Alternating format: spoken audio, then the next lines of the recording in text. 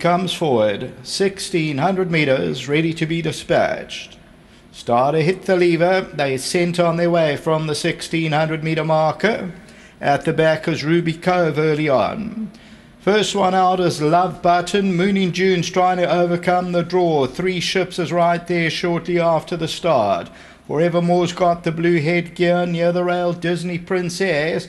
Then Silver Prancer's mid division five lengths off the leader, followed by Aero Star. Then Call Me Tonight. Ruby Slippers is second to last. The back seat is Ruby Cove, a dozen lengths off the leader.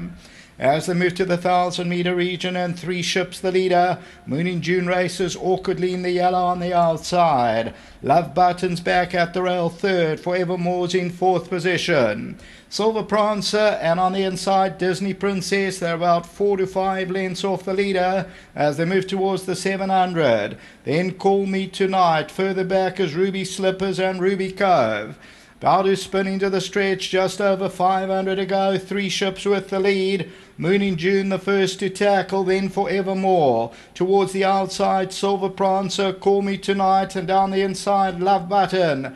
300 metres to go, Moon in June, three ships, Call Me Tonight. Forevermore's got the headgear on the outside, and then comes Silver Prancer, coming to the 200 metre marker now, and Forevermore comes strongly now. Forevermore, Call Me Tonight over the last 100 metres. Forevermore, just the leader, Call Me Tonight's trying to fight back. Forevermore's just the leader as they hit the line, and Forevermore it. Second, Call Me Tonight, Moon in June, and Silver Prancer.